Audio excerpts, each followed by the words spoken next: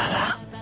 小野大輔です。え今夜の DGS はですねついにやってきました。DGS in カミヤハウス1月にやった神谷博生誕祭があまりにも不甲斐ない内容だったのでもう一回チャンスください。お願いします。ということで神谷さんの家をパーティー会場にしてみんなが大好きなヒロシのバースデーをお祝いしたいと思います。えー、つうことでオープニングは僕一人でお送りしております、えーなんでこんなに、えーウィスパーなのかというと今実はヒロシの家のすぐそばに来ています。ヒロシは今家にいるそうです。えーもうすでに玄関の前まで来ていますので、えー早速突撃してみたいと思います。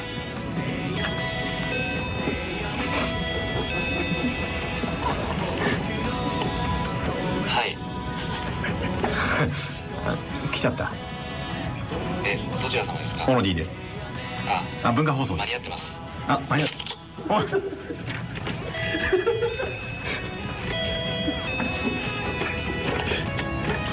はい。ああの待たせたね。どちら様ですか？あオノディです。あ文化放送です。何しに？えっとえー収録。あはい。ー、やめて。あの、正式にあの、青鬼プロダクションを通してやめてって言うから、ああの後でああとファックスで送っとくんではいえ今日まっすぐ。え開けてください開けてください うわ、そこにいんの？じゃああれですよじゃあドアドア越しにドア越しにいつものやつお願いします怖いよ、なんかドアからからって。いやー、そうですか。はいあの、お願いしますいつものやつはいはい。じゃあ、はい僕とあなたの物語。リアガールストーリーズ第45話。ずっと俺のターン。もういいよ、俺のターンとか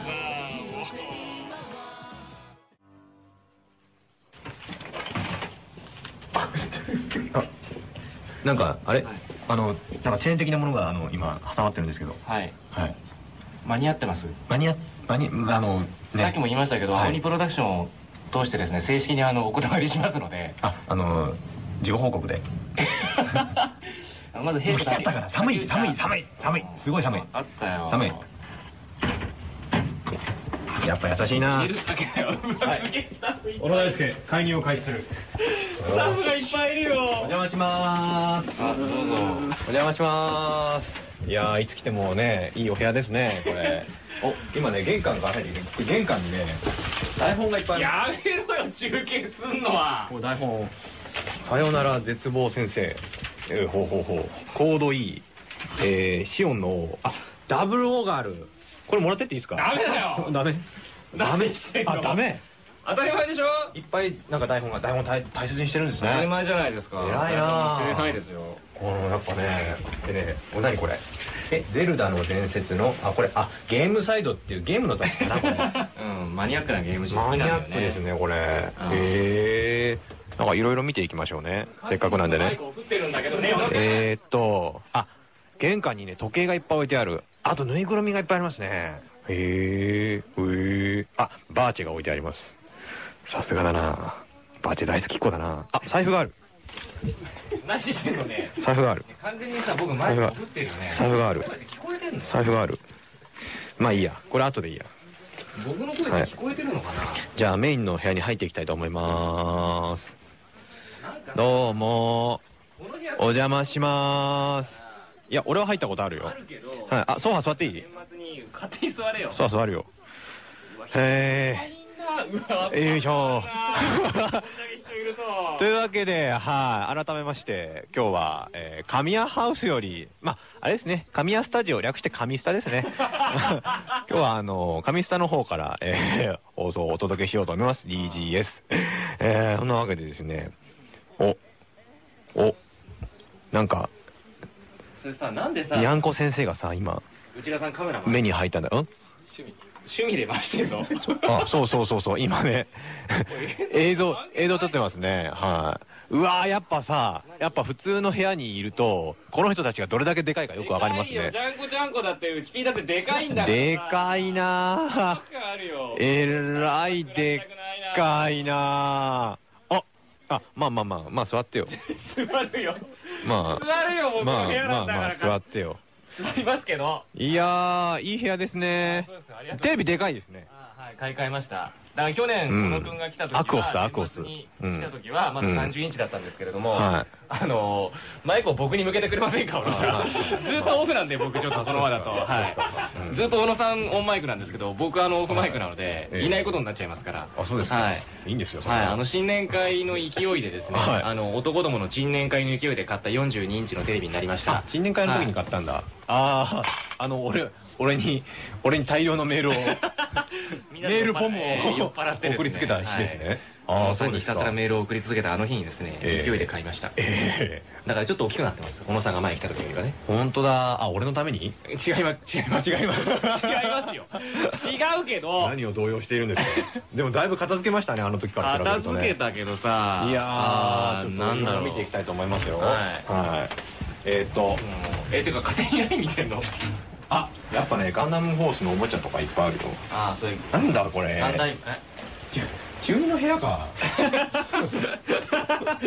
クロスとかね、なんかあの、セイントセイヤの。あーそれオルフェねライラのオルフェあー自分がやったやつだ。そうそう。そこは基本的に自分がやったキャラクターがいっぱい。あ、本当だ。河合拓司可愛いとね、キャプテンガンダムとテイエリアと。テイエリアと。へー。あとは？あとは DS。DS のソフトがいっぱい。綺麗に並べてる PSP ね。ですね。はいはいはいはいはい。あと DVD。ガンダムの DVD ボックス。そして、あ、ゲームセンター CX がええ全巻ある。全巻ありますね。好きなので。うわー、ほんと、中二か。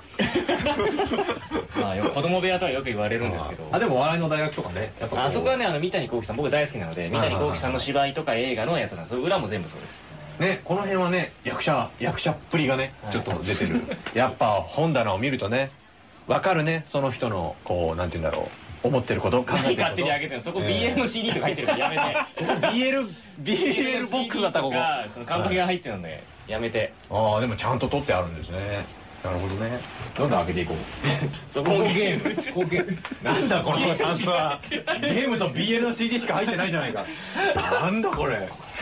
そこも開けんの？そこゲームのコントローラーしか入ってないじゃないか。だこれ。ちなみにその上にある、ああの、あ段ボールには、あのはい、コントローラーしか入ってない箱もあります。昔のゲームの、歴代のゲームのコントローラーしか入ってないんです。何学生だあと、ゲームボーイミクロ。あゲームボーイミクロが2台あります。えーあの、寂しいので一人で通信対戦できるように2台持ってます。やってんじゃねえよ。なんだこの部屋。あ、カレンダーははいダブルオーなんだ。そう、そうです。うん。バーチが飾ってある。あ、そうそう。それはあの、ハイグレードですよ。バーチね。やっぱかっこいいな、バーチ。バーチ。よし、パージしよう、パージ。やめてそれパージできないやつだからパージしないであパージあれ？それせっかく作ったんだからやめてすいません。もしょうがないな。う、適当に置くなよ、しかも。海の熊にバズがかかってるでしょ 内田さんも何撮ってんのもう？の熊ね。そっちも撮んの？味黒の、ポスターですね。ね、あ、その、カレンダーがある。ここに書いてあるのはあれ直筆のサインですこれ、へー。お、直筆なんだ、これ。そうですよ。あとここに書いてあるのはにゃんこ先生です。あ本当だ書いたにゃんこ先生です。神谷さんやって書いてるから売れねえな、これ。やめてよ、売るのは。あげないよ、そもそも。えーっと、アニカンがある。アニカン R。いつのやつだろうね。ずいぶん前のですね。平野綾ちゃんが。あやちゃん可愛いね。メガネかけたあやちゃんがまだ笑ってるやつですよ。髪黒いね。うんへあー。何これ？声王子って何これ？声王子のワンですよ、これ。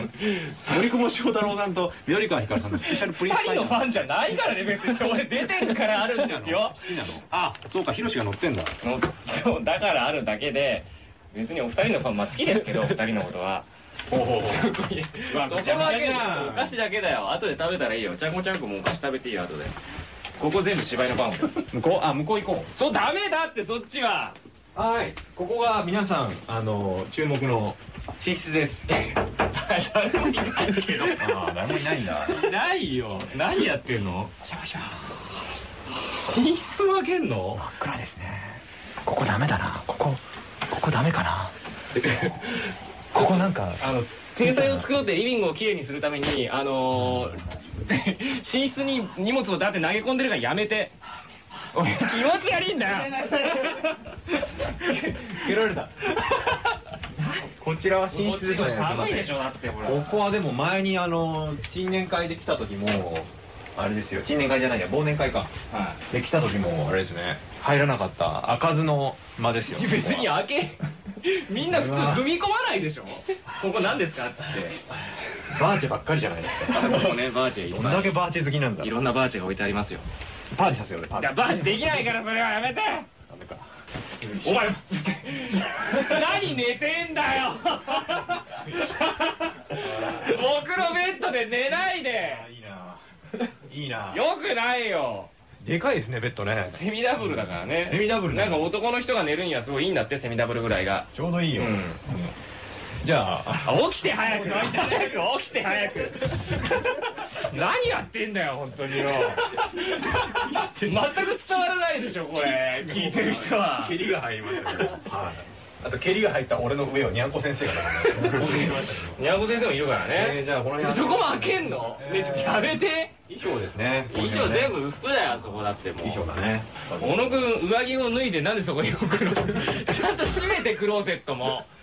ああそれスタジャンね。スタジャンをなんでお前は着てんだよ？えー、そうかそうか。いいね。エロいの。エロいのどこかエロいの。エロいの。ないよ。なあでもさベッドのベッドの下とかじゃない？ないよ見たけりゃ見てもいいけど。このなんかマットの下とか。やめなさい。これ何これあ相武咲。あ相武咲ちゃん。10代。さきちゃんの。エローい。これは？鈴木恵美写真集「ラブラブ」エローい。毛糸の小物。エローい。お前のエロの基準がわかんねえ全然。なんでこれ持ってるんですか？初めてでも編めるショールケープ。プラスポンチョ。どうやって編むのかなと思ったの。編んでるんですか？編んでないけどなんで一本の毛糸があんな風に形作るのが気になってくる探求心旺盛です探求心ねですよ。じゃあとりあえず寝室当てましょうあ寝室はね。これ以上探してもエロいのエロいのなさそうだから寝室とリビングしかないからねうち。エロいのなさそうだからそうそうさっきからね。気になってたんですけど。もうにゃんこ先生が今ソファーの上に座ってますよ。皆さんもう怯えてるじゃないもう。かわいそうでしょ？みんな大好きにゃんこ先生、はい。ちょっとじゃあにゃんこ先生にも出演してもらいましょう。あ皆さんギャラもらおうからね。皆さん。皆さん。皆さん GGS です。ね。あなたのためのストーリー。それが皆さんほら「ディアガールストーリーズ」です。ああー逃げた。言った瞬間逃げました今。戻ってきた。皆さん皆さん皆さん皆さん皆さんこういう雑だとしてるああ何これ？え「続さよなら絶望先生」録音台本？ああすす今チェックしてたの。あちょうどチェックしてたんです。そうですよ。すいませんね邪魔しちゃってね本当にね。本当に邪魔ですすいませんね。うーん。ミルキーウェイはドブ川。たまに死体が流れていく 何言ってんですか先生ねえこれ面白いよこの放送。ね知ったな。私が毎年こうやって七夕に絶望していることを。え知ったっていうかもうそんなことえあいやもうやめて。これまだ放送してないんだから。当たり前でしょそんなの。すいませんあそこに積んでるやつだったらいいよ。すいませんでしたニャーさんニャーさん。ニャーさんえーっとエロいの？エロいのどこ？ない。エロいの？どこないですよ。しょうがねえな。じゃあ番組進めるか。エロ基準なの？えーっと、えーさあ続いてはこの番組のタイトルにもなっているアニメ専門エンタメサイト アニメロミックスの中にある女の子のための携帯サイトディアガール情報を、えー、上下からお届けします。え、滑んの？冷静に滑るの、小野くんね。あはい。えーまずはこの番組のド S 構成作家そのメンバーに入っている黒バラ保存会情報、えー2月14日に発売になったニューシングル「レッドシグナル」そのカップリング曲の配信限定バージョン「ハッピーハッピーこれライスシャワータイプスイートの着歌着歌フルが配信中です、えーこちらは構成諏訪ことマーサマが一部ボーカルを務めてえーいるんだ。へえ、そうです。はい。えー、着歌はアニメロミックスアニメロータにて、着歌フルは超アニメロにて、ぜひチェックしてみてください。そしておなじみ、ディアガールストーリーズのコーナーでは、シルフ談話室の作品紹介を毎週無料ストリーミング配信中です。さらに番組のレポートと写真を掲載しています。アニメの会員になると、おまけ写真とレポートのバックナンバーが見られるようになりますよ。今日の写真は、ほぼフルモザイクでお届けします。プライバシー保護。今日のやつあげなくていいよ。それ大事ですね。はい。アニメのミックス、はいディアガールへのアクセス方法どの携帯もメニューリストかカテゴリーの着信メロディーから、アニメがある項目に行くとアニメないね今日ねアニメロミックスのページを見つけることができます。削除かな、うんアクセス待ってます。え、ではここで一曲お届けしたいんですが、はいせっかくなので、はい、えー、ひろしの家の CD から、えー、うちから？コップ越しにお届けしましょうね。はい。曲かけんの？うちから？どれかけようかな。どれがいい？愛子が好きなんだね。あ、愛子多いね。どれしようかな。はうちからかけるんですか？い。お、何？ラズマタズ？ラズ、ラズですね。ラズ好きなんですよ。へえ。まあ、そういうのはいいとして。じゃあ、今日の一曲が決まりました。何？えー、ザ・バックホーンで。これね、バックホーンさんにあの CD いただいたんですよ、ベスト版で。あの、サインいただいてね。うんあの、バックホーンさん本当ありがとうございます。じゃあ、あの、罠かけようか。はい。あ、じゃあ、罠かけます。じゃあ、えー再生して。はい、あの、はいザ・バックホーンで罠。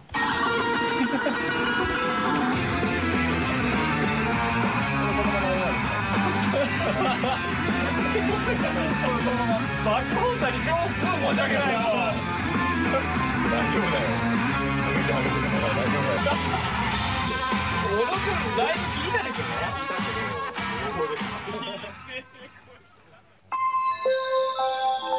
神谷博史小野大輔のリアガールストーリーズシルフ談話室女の子のためのコミック誌コミックシルフに連載されている作家さんから毎回僕らのところに普通のストーリーこと普通ストが届いてそれを僕たちが精一杯紹介していくこのコーナほんと普通にやるんだね。ーはいやります。うちだからテンション全く上がんない、本当に。上げてください。あ、これ読まなきゃいけない。無理やり。はい読んでくださいえー、機関誌のコミックシルフ、創刊1周年記念のボリューム5が現在、好評発売中ですが、全くテンション上がんない。上げてください。あー今夜はコミックシルフで連載中の作品、ビージュネの作者、林家しずる先生から普通のストーリーが届いています。よし。まずはどんな作品を書いている作家さんなのか B ジネの作品紹介から。それもやるの？はい。ははい読んでダラダラと過ごしていた今までが嘘のようにストリートボクシングの大会ビートファイト出場を目指して日々トレーニングに明け暮れるライドウ夏樹出場の目的はただ一つ。かつて手も足も出ずに完敗したビートファイター桜井翔をぶっ倒すため。そのためだけに夏樹は毎日ボクシング部マネージャーで夏樹のトレーナー土方哲平の鬼のようなしごきに耐えていた。そんな夏希にビートファイト夏大会が終了したことその決勝で翔が敗れたことが知らされる夏希が出場するのは冬大会いよいよ夏希のビートファイト開始を告げるゴングが鳴る。よく読めるね。え？何かこれちなみにストリーミング配信ってこれするんでしょ？そうですね。これを流すの？のこんな雑な音を？ねえ紙紙下からだって これ登録だよ？そうですこのままのこの臨場感登録流すんだ、はい。あそうですか。というわけでですね、まあ。あ、そうそうそう、原作をちゃんとさらわないとね。はい。あ、あったあった。ちゃんと持ってんだね。当たり前じゃん、持ねってるよコミックシルフコミックシルフ、えー、これボリューム5。そう僕私物ですからねそれはい。汚くしないでね神谷家の本棚にありましたけども、はい。読んでみようね。うんうん、うん、うん、うん、うん。どこだ、まあ、決勝で負けた翔はビートファイトをやめようとしていたんだね。うんうん。そこに夏希が現れて、うん。なるほどね。うん、うん。うーん。へー。普通に楽しんでんじゃねえよしかもお前そのジャケットさっきお前これ俺おいこれ俺のだな。では BJ の作者 僕の G ジャンだなこれ。先生から届いた普通のストーリーを紹介していきましょう。林家しずる先生のお便り。iPod で音楽を聴きながら仕事をすることが多いのですが iPod 用のイヤホンが小さいのか私の耳の穴が大きいのかよく耳から外れてしまったりきちんと固定されないので音が聞きづらいです。そこで相談ですが耳の穴を小さくする方法はないでしょうか？今、せっかくですよ、音を取ってくれている、二平さんの背中ににゃんこ先生が手をかけるという。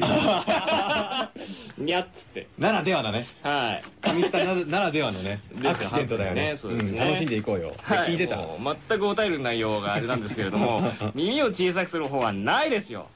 そんなものあるわけないじゃないですか。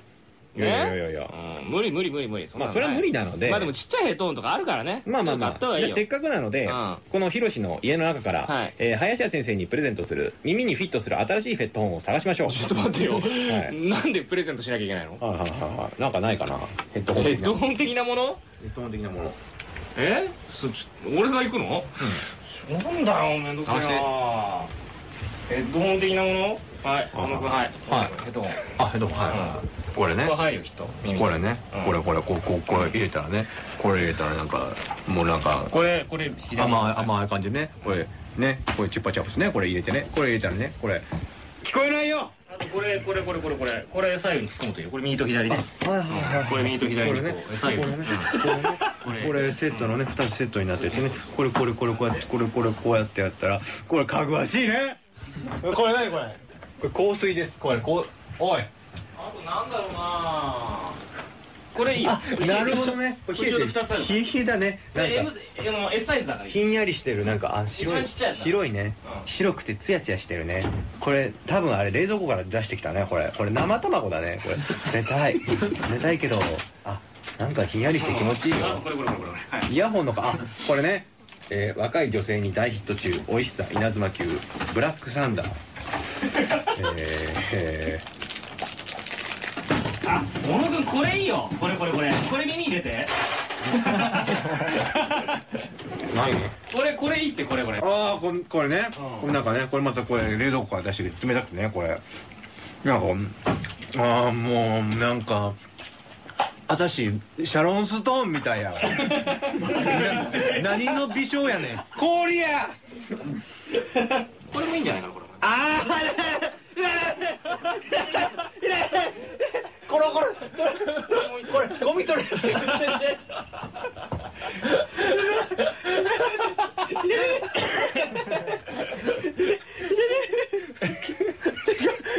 れたおいよし毛毛が抜けたそんなもんですか？はい。こんなもんかな。はい。林家しずる先生いかがですか？えーっと、まあお分かりかと思いますけれども、イヤホン以外は耳に入れない方がいいです。はい。あえー、このシリフ談談話室であは、の毎週コミックシリフの作家さんから普、通に。あるじゃん。あるじゃんちゃんと。あるじゃん。ねあのあれですよワイヤレスヘッドホンですよ。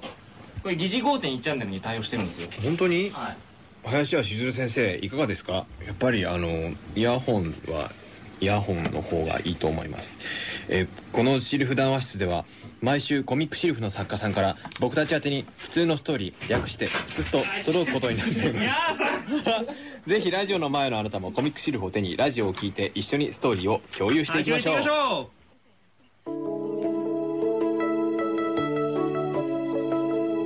う。 Dear Girl Stories in オレンジなんだこのタイトル。そろそろ今夜のストーリーもエンディングの時間になってしまいました。モース。モース。お前ブラックサンダー食ってんじゃねえよ。今夜は、え無視かよ神谷ハウスこと神スタからお届けしましたがいかがでしたか神谷さん？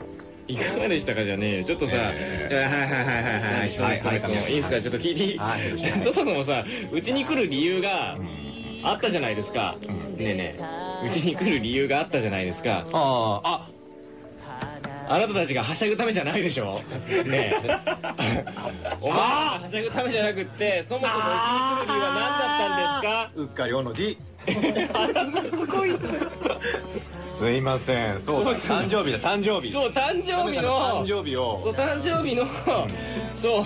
祝いそうそう祝いのた会場がうちって話だったでしょ。お前疲れて面倒くさくなってた。ちょっとさ何？そうです。今日はあなたの誕生日をお祝いするために今日は来たんです。来たんだけどでもうっかりしてた。うっかりしてなんかはしゃいで終わっちゃったじゃん。だって人んち来たら興奮するじゃんやっぱりさ。初めてねみんなね。普通落ち着いてさなんかもうちょっと考えないですか？ねあそうですか？えもっとおとなしくするもんじゃないうち来ると。他人のうち来るとさテンション上がっちゃって。ええうん。どういうことよ。でですね来週こそはお誕生日をお祝いします。ああやったバースデーパーティーをパーティーをやります。勝手にやれよもう。ええ。というわけでどこでえやんの？そういうスタジオでやるんでしょ？いやここで帰るでしょお前らここです。というわけでえもうしばらく僕たちは居座ります。日本撮り？ねえちょっと。ねえ普段言わないけどこれ日本撮りね。日本撮りです。おいやっつけじゃねえかよお前らよ。あーうっかり。あー本当申し訳ないです。あー宛先とか言った方がいい。言ってください。ああもうありました。はい番組ではあなたからのストーリーをお待ちしております。はい。おはがきの宛先は郵便番号105の8000に文化放送神谷浩史小野大輔の Dear Girl Stories それぞれの係です。はい。メールアドレスはこちら。すべて小文字で、dgs.joqr.net。dgs.joqr.net です。えーそしてアニメのミックスの Dear Girl には僕たちの番組サイトがあります。番組収録の写真やレポートとかあるのでぜひアクセスしてくださいって今日のやつもあげんの？もちろんです。は いマジかよ。バッチリ上げてますまあもう今回上がるかどうかわかんないけどね。はい。じゃあ締めてください。はい、ということでここまでのストーリーテラー神谷博士と小野大輔でした。ディアガールストーリーズ第46話に続く